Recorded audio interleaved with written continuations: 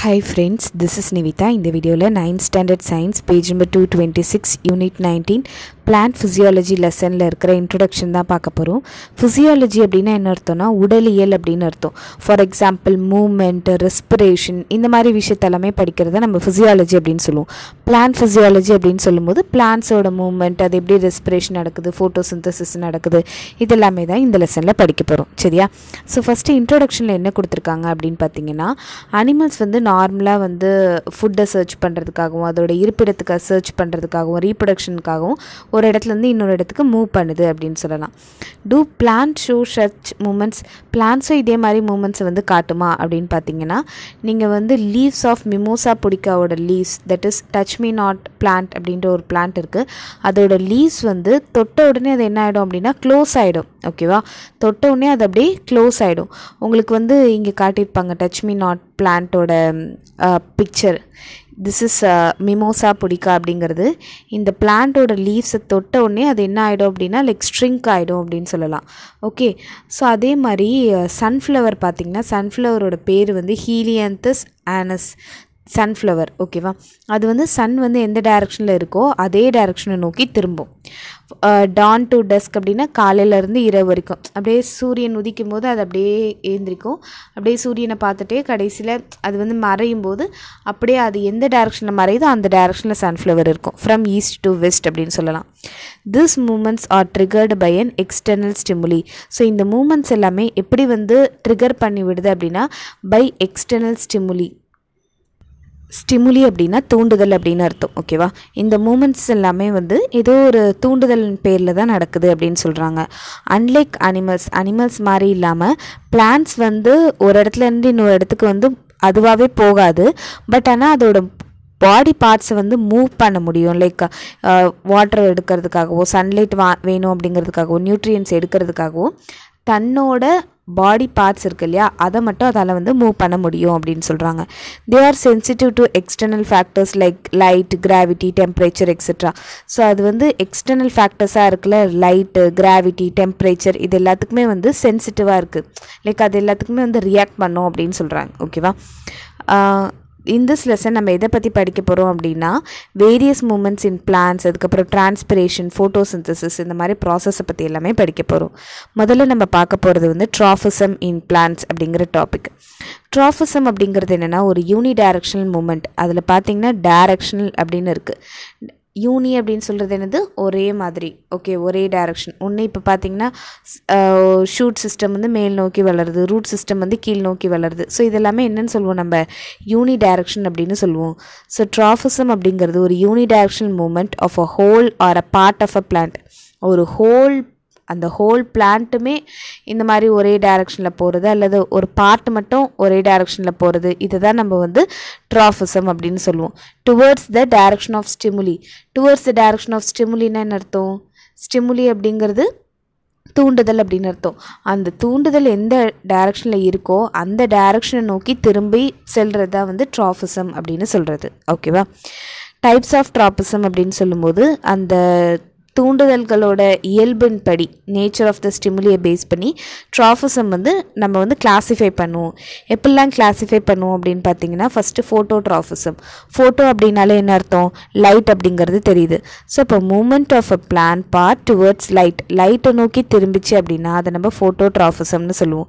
Example shoot of a plant எல்லா பிளான்ட்டுமே அப்படியே மேலே நோக்கி தானே போகுது. லைக் லைட்டை நோக்கி தானே போகுது. ஸோ அதனால் அதை ஃபோட்டோ ட்ராஃபிசம்னு சொல்லுவோம். ஜியோ ட்ராஃபிசம்னா என்னது? Movement of a plant in response to gravity கிராவிட்டிக்கு response பண்ணுற விதமாக எனக்கு வந்து இப்போது பிளான்ட் வந்து மூவ் ஆச்சு அப்படின்னு சொன்னால் அதை நம்ம ஜியோட்ராஃபிசம்னு சொல்லுவோம். எக்ஸாம்பிள் ரூட் ஆஃப் அ பிளான்ட்டை பிகாஸ் இப்போ வந்து ரூட்ஸ் எல்லாமே என்ன இருக்கும்? கீழே நோக்கி தானே வளரும். ஸோ கீழ் நோக்கி வளரும்போது கிராவிட்டினா அது கீழ் நோக்கி தானே இழுக்கப்படுது. ஸோ அப்போ அதை வந்து நம்ம ஜியோட்ராஃபிசம் அப்படின்னு சொல்லுவோம். ஓகே ஹைட்ரோட்ராஃபிசம் ஹைட்ரோ அப்படின்னாலே என்ன அர்த்தம்? வாட்டர் அப்படின்னு அர்த்தம். So the movement of a plant or a part of a plant towards water water நோக்கி அந்த பிளான்ட் வந்து மூவ் ஆச்சு அப்படின்னா அதை நம்ம ஹைட்ரோட்ராஃபிசம்னு சொல்லுவோம். எக்ஸாம்பிள் வந்து ரூட் ஆஃப் அ பிளான்ட் அப்படின்னு சொல்லியிருக்காங்க. ஓகேவா அடுத்தது திக்மோட்ராஃபிசம் திக்மோட்ராஃபிசம்னா என்னது? Movement of a plant part due to touch touch பண்ணுறதுனால அந்த பிளான் பார்ட் வந்து மூவ் ஆச்சு அப்படின்னு சொன்னால் அதை நம்ம திக்மோட்ராஃபிசம் அப்படின்னு சொல்லுவோம். எக்ஸாம்பிள் வந்து கிளைம்பிங் வைன்ஸ் அப்படின்னு கொடுத்துருக்காங்க. இப்போ நீங்கள் படத்தில் பார்க்குறீங்களே இதை தான் கிளைம்பிங் வைன்ஸ் அப்படின்னு சொல்லுவாங்க. அழகாக அது எப்படி லைக் அந்த ஷேப்பில் வருது அப்படின்னு பார்த்தீங்கன்னா ஆம், அடுத்தடுத்தது வந்து டச் பண்ணுறது மூலிமா அடுத்தடுத்த பாத் வந்து அதுக்கு வந்து தெரியும் ஓகேவா ஸோ அதனால் அப்படியே வளர்றதுனால இதை வந்து திக்மோட்ராஃபிசம் அப்படின்னு சொல்லுவோம். அடுத்தது நம்ம பார்க்க போகிறது வந்து கீமோட்ராஃபிசம் அப்படின்னு சொல்கிறது so movement of a plant அல்லது பார்ட் ஆஃப் அ பிளான்ட் வந்து கெமிக்கல்ஸ்க்கு ரெஸ்பான்ஸ் பண்ணுற விதமாக போகிறது தான் கீமோட்ராஃபிசம் அப்படின்னு சொல்லுவோம். எக்ஸாம்பிள் பார்த்தீங்கன்னா pollen tube in response to the sugar present on the stigma so இந்த போலன் டியூப் அதை பற்றி எல்லாமே நீங்கள் வந்து ஹையர் கிளாஸில் படிப்பீங்க. பட் பேசிக்காக வந்து ஸ்டிக்மா மேலே இந்த போலன் கிரெயின்ஸ் அப்படிங்கிறது உட்காரும். இந்த மகரந்த சேர்க்கை அப்படி எல்லாமே சொல்லுவாங்க இல்லையா? ஸோ அதுதான். Growth of a pollen tube அப்படிங்கிறது ஒன்று வளரும். எதை பேஸ் பண்ணி அப்படின்னா சுகர் அது எங்கே இருக்குது அப்படின்னா ஸ்டிக்மாவில் இருக்குது ஸோ ஸ்டிக்மாவில் இருக்கிற சுகரை பேஸ் பண்ணி எனக்கு வந்து போலன் டியூப் அப்படிங்கிறது வளர்கிறதா வந்து லைக் கெமிக்கல்ஸை பேஸ் பண்ணி இந்த சுகர் அப்படிங்கிறது என்னது? எனக்கு ஒரு கெமிக்கல் அதை பேஸ் பண்ணி வளர்றதுனால இது நம்ம கீமோட்ராஃபிசம் அப்படின்னு சொல்லுவோம். ஓகேவா அடுத்தது பார்த்திங்கன்னா இது எல்லாமே பேசிக்காக பிரிச்சிருக்காங்க. இன்னும் ரெண்டு விதமாக இருக்குது ட்ராஃபிசம் வந்து ஜென்ரலாக நம்ம பாசிட்டிவ் uh, எப்போ சொல்லுவோம் அப்படின்னா டுவர்ட்ஸ் த சிக்னல் இருக்கும்போது. நெகட்டிவ் அப்படின்னு சொல்லுவோம். If to away from the சிக்னலாக இருக்கும்போது அதை நம்ம நெகட்டிவ் அப்படின்னு சொல்லுவோம். ஓகேவா சிக்னலை விட்டு விலகும் போது அதை வந்து நெகட்டிவ்னும் சிக்னலை நோக்கி வரும்போது அதை வந்து பாசிட்டிவ்னு சொல்லுவோம் எக்ஸாம்பிள் பார்த்தீங்கன்னா shoot of a plant moves towards a light the root of மூ மூவ்ஸ் அவே கரெக்டாக இங்கே வந்து லைட் இருக்கும் இங்கே வந்து சன்லைட் இருக்கும். ஷூட் ஆஃப் த பிளான்ட் வந்து இந்த லைட்டை நோக்கி போகும். ரூட் ஆஃப் த பிளான்ட் வந்து மூவ்ஸ் அவே கரெக்டாக எனக்கு வந்து இப்போ இந்த ஒரு டைரக்ஷனில் வளரும்.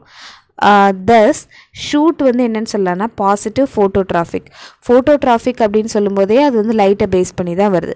அப்போ ஷூட் சிஸ்டம்னு சொல்லும்போது எனக்கு அப்போ பாசிட்டிவ் ஃபோட்டோ டிராஃபிக் தானே? எனக்கு அதோட டேரக்ஷன் ஏற்கனவே ஃபோட்டோ டிராஃபிக்னு சொல்லும்போது எனக்கு அதோட டேரக்ஷன்லேயே போவோம் ஸோ இப்போ வந்து பேசிக்காக ஷூட்டுன்னு சொல்லும்போது அது வந்து பாசிட்டிவ் ஃபோட்டோ டிராஃபிக் இந்த இடத்துல பாருங்கள் இதெல்லாமே பாசிட்டிவ் ஃபோட்டோ டிராஃபிசம்னு சொல்லுவாங்க. ஏன்னா நம்ம தலை கீழே வச்சா கூட அது என்னவாகுது? மேல் நோக்கி தான் போகுது. இதுவும் வந்து இந்த மாதிரி தான் போகுது. அப்போ இது வந்து பாசிட்டிவ் ஃபோட்டோட்ராஃபிசம்னு சொல்லுவாங்க. எனக்கு இந்த இடத்துல வந்து ஜியோட்ராஃபிசம் பார்க்க முடியல. கரெக்டாக அதனால் நெகட்டிவ் ஜியோட்ராஃபிக் அப்படின்னு சொல்லியிருப்பாங்க. Usually shoot system of the plant வந்து பாசிட்டிவ் ஃபோட்டோட்ராஃபிக்காக இருக்கும். லைக் அது வந்து எப்படி சொல்கிறது அந்த லைட்டு வேணுங்கிறதுக்காக அது வந்து அந்த டேரெக்ஷனை நோக்கி போகுது shoot system and negatively geotropic கண்டிப்பாக அது ஜியோட்ராஃபிக் கிடையாது. ஏன்னா மேலே நோக்கி தானே போகுது. அப்போது ஜியோட்ராஃபிக்கு நெகட்டிவ் அப்படின்னு சொல்கிறோம் ரூட் சிஸ்டம்னு பார்க்கும்போது is negatively phototropic and positively geotropic இது வந்து கீழே தான் வளருது கரெக்டாக அப்போ நம்ம பாசிட்டிவ்லி ஜியோட்ராஃபிக்னு சொல்லுவோம். பட் அது வந்து மேலே நோக்கி போகல அப்போ நெகட்டிவ்லி ஃபோட்டோட்ராஃபிக் அப்படின்னு சொல்லுவோம். ஓகேவா இந்த நெகட்டிவ் பாசிட்டிவ் அப்படிங்கிற ரெண்டு கான்செப்ட் தான் ஓகே என்ன சொல்கிறாங்க ஷூட் சிஸ்டம்னு வரும்போது அது வந்து மேலே நோக்கி தான் போகும். அப்போ பாசிட்டிவ்லி ஃபோட்டோட்ராஃபிக் அப்போ அது வந்து கீழ் நோக்கி வராது. அப்போ நெகட்டிவ்லி ஜியோட்ராஃபிக் ரூட் சிஸ்டம்னும் போது கீழே நோக்கி தான் வரும். அப்போ பாசிட்டிவ்லி ஜியோட்ராஃபிக் நெகட்டிவ்லி ஃபோட்டோட்ராஃபிக்னு வந்திருக்கும். இப்போது என்ன சொல்கிறாங்க அப்படின்னா சம் ஹாலோ ஃபைட்ஸ் ஹாலோ அப்படின்னாலே என்ன அர்த்தம்னா சால்ட் அப்படிங்கிறது அர்த்தம். நீங்கள் ஹாலோஜன்ஸ் அதெல்லாமே கெமிஸ்ட்ரியில் படிப்பீங்க. சம் ஹாலோ ஃபைட்ஸ் வந்து நெகட்டிவ்லி ஜியோட்ராஃபிக் ரூட்ஸை வந்து ப்ரொடியூஸ் பண்ணும். எக்ஸாம்பிள் ரைசோஃபோரா நெகட்டிவ்லி ஜியோட்ராஃபிக் ரூட்ஸ்னு சொல்கிறாங்க ஜியோட்ராஃபிக் ரூட்ஸ்னால் என்னது? கீழே நோக்கி வளர்றது. நெகட்டிவ் ஜியோட்ராஃபிக்னு என்னது? மேல் நோக்கி வளர்றது.